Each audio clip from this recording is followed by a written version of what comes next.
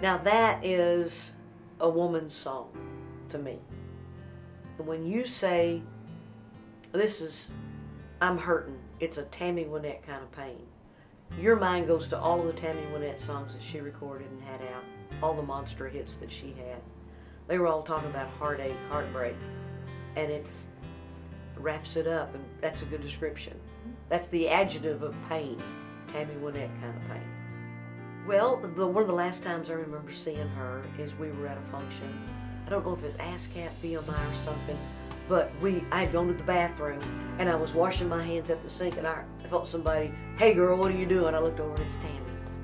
She's she was precious. I just really adored her. I listened to her songs. I loved her, along with Dolly and Loretta and Barbara, my heroes.